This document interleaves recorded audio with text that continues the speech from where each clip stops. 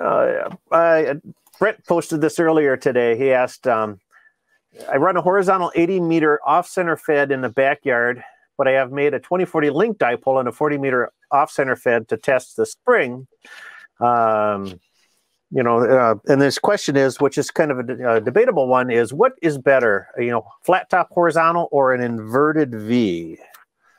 And I don't know if one is better than the other, but they're different, and they're going to give you, you know, different. They're going to have different characteristics. Different takeoff um, angle.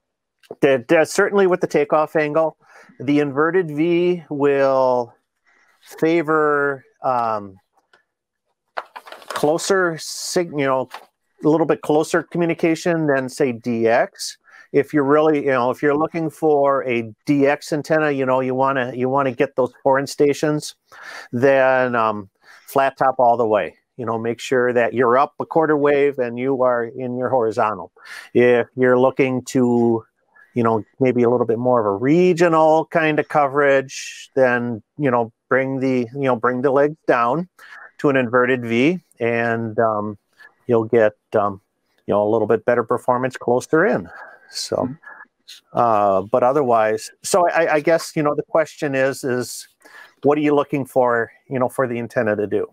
Um, if you're not big on a DX, but you want to talk to you know your buddy two states away, you know inverted V. You know if you if you want to get um, Papua New Guinea, you know the flat top. So I, mm-hmm. I think you know that's that's probably the best way to kind of. But as propagation changes a little bit, yep, that's all bets are off. it's all bets are off. Any you know in most in most a, circumstances. A good friend of mine said that when at the peak of the solar cycle, the best propagation is NVIS because it goes up and out like a nuclear explosion. Mm-hmm. Mm-hmm. And I've had very good luck with NVIS. um, you know, on a, on a local local slash regional level. But um, you know, when the band is open, you know, who knows what you're gonna what you're gonna exactly. hear. Hey, thanks for watching. Do you have any questions or comments? Well, please leave them in the comment area below. I'll filter through them and who knows, you know, maybe yours will end up in our next Your Questions Answered live stream. For more articles and information though, please check out my blog at www.jpole-antenna.com. Your support of this channel drives the production of future videos, so check us out on Patreon.